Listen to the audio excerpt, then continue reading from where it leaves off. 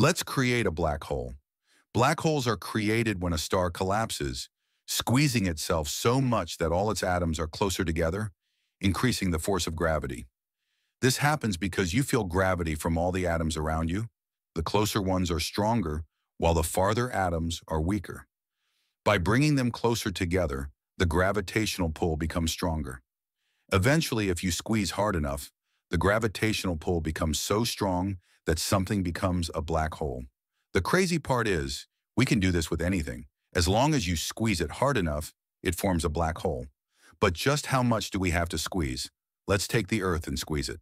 Well, the Earth is 5.972 2 times 10 to the power of 24 kilograms and has a radius of 6,378 kilometers. If you do the math, you would have to squeeze it to the size of a date.